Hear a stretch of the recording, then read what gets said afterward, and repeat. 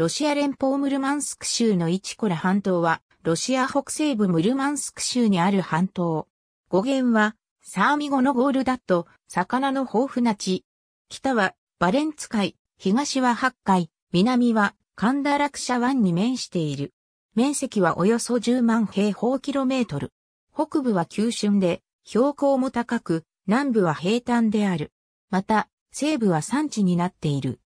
港湾と海軍の町ムルマンスク、軍港セベロモルスク、半島の名の由来となった中世の港町コラは、半島の北岸から内陸に向かって伸びている、フィヨルドとして形成されたコラーンの沿岸にある。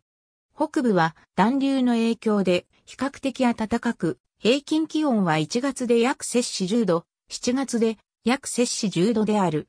南部は大河、北部はツンドラになっている。臨海石、鉄鉱石などの資源が豊富である。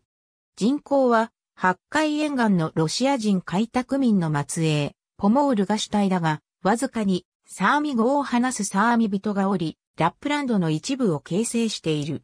コラ半島で行った学術調査目的のボーリング、コラ半島超深度掘削港が人類が掘った最も深い穴である。